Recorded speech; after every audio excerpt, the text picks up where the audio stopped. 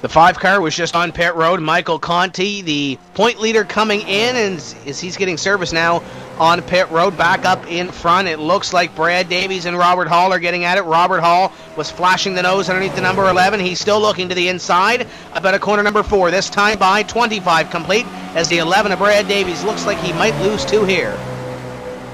Yeah, it looks like Brad will lose a couple. But if you're pitting now, Tim, lap number 25, you know, you could probably go 55 on fuel, something like that, 55 on tires. If you're pitting now, you must really not like your setup because you're going to lose a lap pitting here and you're going to find yourself way behind, losing track position. And uh, if you're pitting now, you're, you're really suffering on that setup.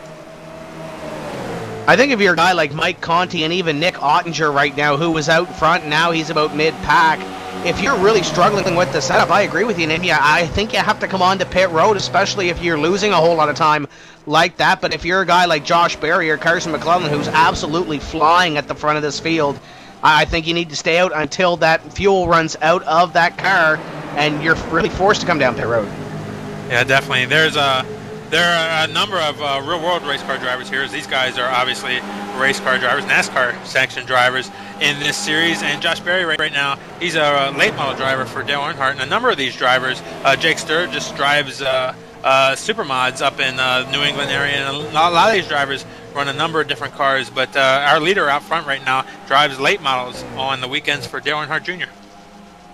I saw the 52 of Pat Baldwin come onto pit road. Another one of those drivers that drives a late model, I believe it's at Kingsport Speedway, is the 18 you see on your screen right now of Daniel Pope, the second 47 just in front of him of Chris Overland. That's the battle for position number 27 down the back.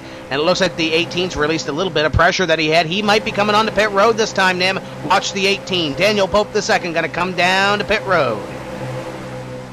There's lap number 29. So that's a, still pretty early for a pit stop uh, trying to make it through. So he's going to get some new tires and probably a new setup on that car, adjusted setup on that car, fuel, and he'll be on his way.